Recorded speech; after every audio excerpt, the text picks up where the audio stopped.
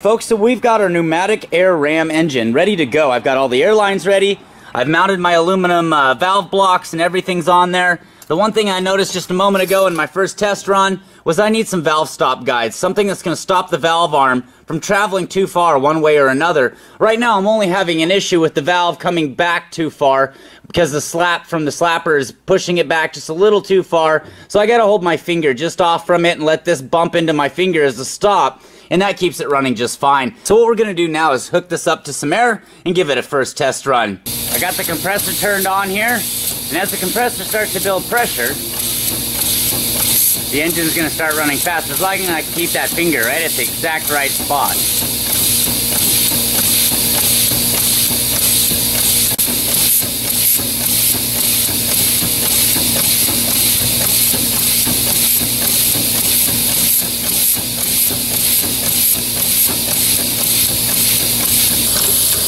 There's some different shot angles, folks. Because again, I'm having to hold that finger right in the exact right bump stop there.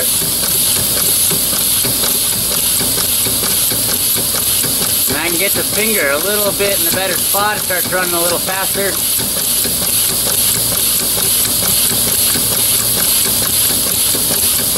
From that angle there, you should be able to see how well that valve slap design is actually working for this. It seems to be working and holding steady. So all our valving, all our rod design, everything seems to be holding pretty well. I'm pretty happy with this. We're going to go ahead and let the air compressor build up to much higher PSI. Uh, once I get these valve stops put on here, this thing won't need my finger sitting there, just acting as a valve stop. Now I can switch it over to a screwdriver.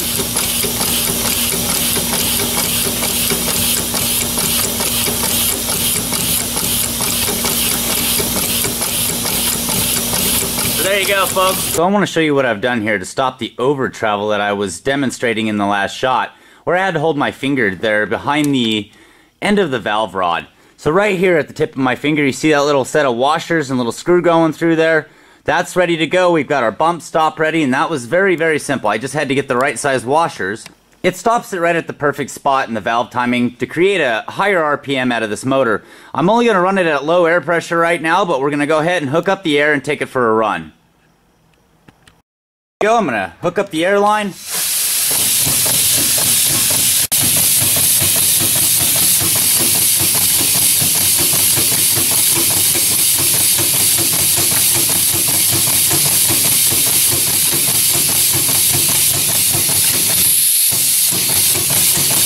you can see there by touching the end there, I can shut it off. So there you go, folks. There's our air engine running at a low pressure. I don't have to hold my finger there anymore. Runs nice and steady. Let me change the camera angle for you. I want to give you a quick shot here from this other angle. You can see the slappers there in action. You can see the lobe. Let me zoom in a little bit for you.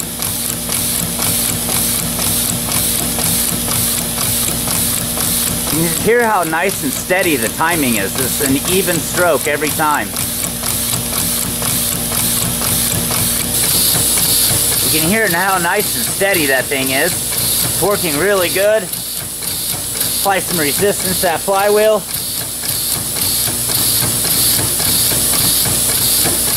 It's slowing it down a little at this RPM, but I can put quite a bit of pressure on that. So we can increase the PSI now and actually apply a lot more resistance to that flywheel.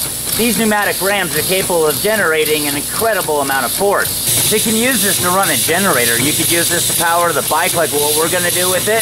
Uh, we're going to go ahead and hook that sprocket like I said up to this. But at least at first, here's a working demonstration of an air-powered engine made from a pneumatic ram.